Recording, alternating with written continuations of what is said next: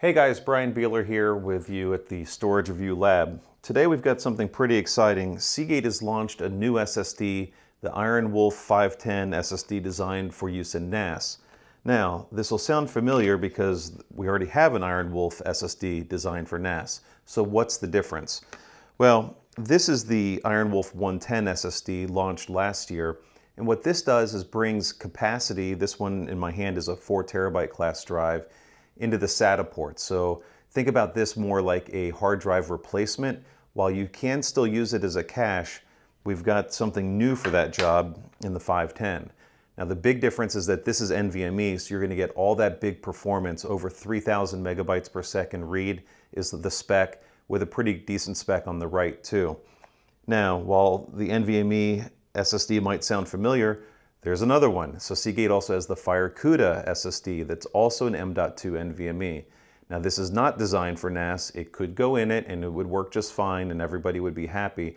But this is really specced out more for performance and uh, it'll give you better writes and it'll be more for a desktop or a laptop where uh, maximum performance is, is what's desired. This guy, more duty built for a NAS. It comes with uh, two years of data recovery services. It, it uh, supports the uh, NAS health monitoring software that Seagate offers and has a couple other benefits, including higher endurance. So this is a one drive write per day endurance rating where the uh, FireCuda is a 0.7. So this is more about using the right product for the job. Uh, of course, we've got also this in the Iron Wolf family, your more traditional hard drive. So we've got all these options. We've got hard drives that can go in the NAS. We've got capacity SSDs that can go in the NAS. And now we've got a high performance NVMe that can go in the NAS.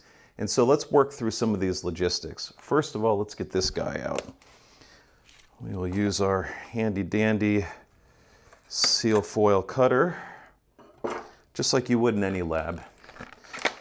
And get access to this guy.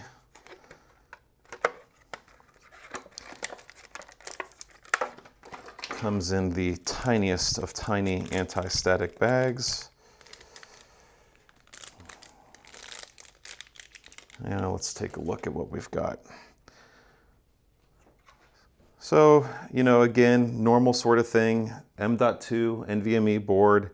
It uh, has a little more Spartan sticker, so it'll be similar to the FireCuda and the Iron Wolf will have the same on the back. The Iron Wolf just doesn't get the fancy sticker. That's probably going to cost it at least 10 to, I don't know, 15 IOPS missing that sticker, so we'll see how that goes. Um, so thinking about how this works, if we look at a popular NAS like this Synology, what do we have here? A DS918 Plus. So this is a very common higher end SMB sort of mid-range NAS from Synology. And what Synology does is it has these two bays on the bottom. Now these are really easy to access. These doors just flip open and we could take our Iron Wolf SSD, clip them in here, and then go into DSM and enable uh, SSD caching with this drive. Really easy to do, very, very simple. If we had two drives, we could put two of them in there, and that would give us read and write caching. So with one, we'll get read only, with two, we'll get read and write. So as we think about these types of use cases, when you have, what do we have? Uh, I can't remember what we have in here, but say we've got, uh, I don't know, 16, 32 terabytes maybe of, of, S, of uh, hard drives inside.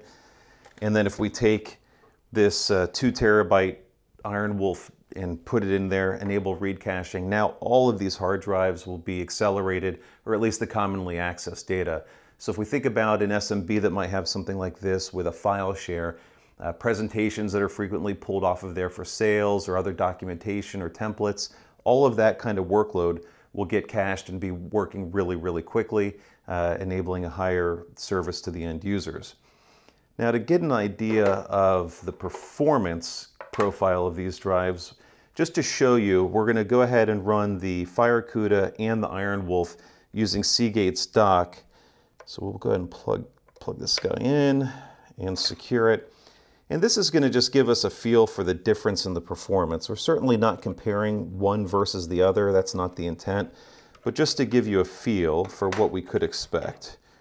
Now, this does enjoy it if the lid is on. And we'll go ahead and fire it up. So they're both going to have probably a pretty similar read profile, and that's okay. We would expect the FireCuda to be faster on writes.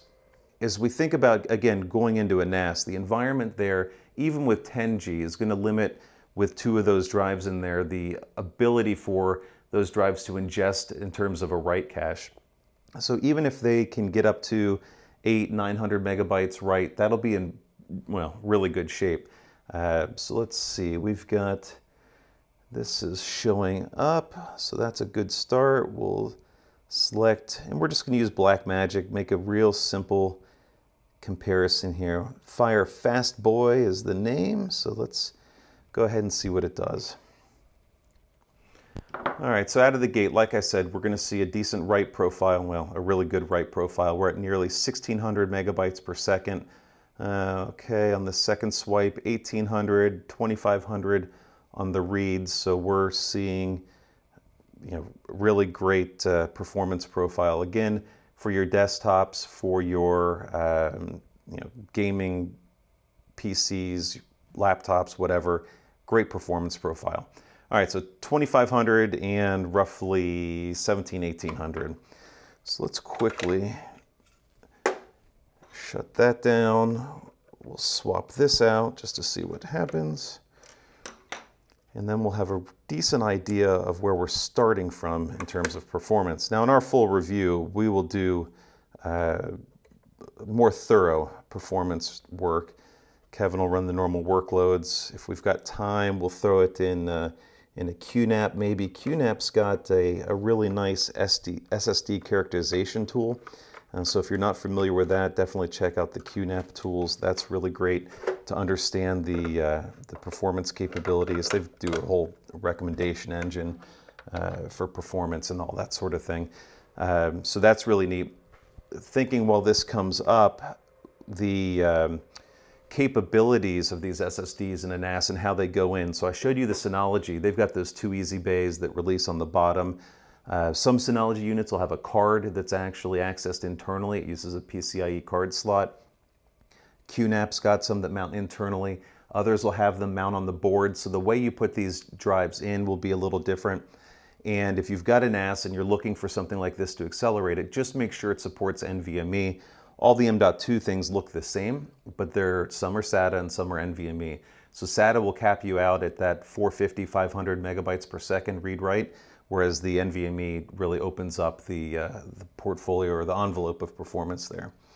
So let's go ahead and check out disk utility. We probably, yeah, it looks like it sees it. So let's go ahead and switch over to that drive and see what we're dealing with. Now this out of the box says reads of 3150. So we'll go ahead and check that out and see how it does. Oops. Let's get our target drive again. All right, we're not quite initialized, so let me just do that real quick. And that'll get us going.